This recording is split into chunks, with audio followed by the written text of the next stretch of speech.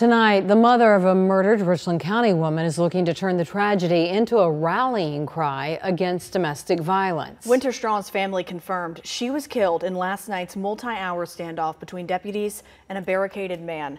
Richland County Sheriff's deputies say they found Straw dead outside before starting negotiations with the suspect. So this happened on the 700 block of Mallet Hill Road in Richland County. That's on the northeast side. Chris Joseph spoke with Winter's mom today. LaShawn Williams is the mother of Winter Straw and described Straw's murder as a shock and a betrayal. She says she's now turning her energy to taking on domestic violence. She uh, was a good friend, good sister, great daughter, all around just a just a good person, a rising star. LaShawn Williams spoke lovingly of her daughter, Winter Straw, describing her as determined and community driven.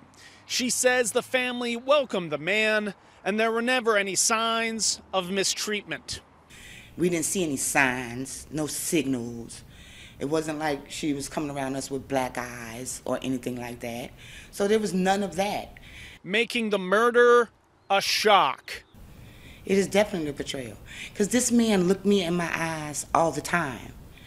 And whenever I would talk to him, I'd say, I'm giving you my child a wholehearted, bubbly personality, and that's how I want to get her back. And he always assured me he would never do anything to hurt my child.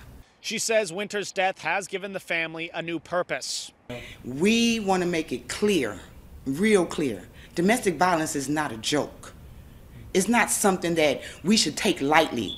For those of you that are posting on Facebook and doing all that unnecessary stuff, I don't care what a person does to you. You don't have the right to take her life. You don't have the right to put your hands on nobody.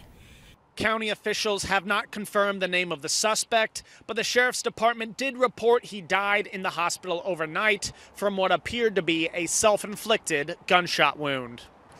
Williams says that the family will be hosting a vigil this evening for Straw at the Carrington Place at Wildwood apartment homes at 6:30.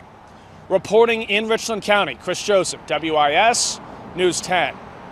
If you're a victim of domestic violence, you can reach out to the National Domestic Violence Hotline. We have that number right here on your screen.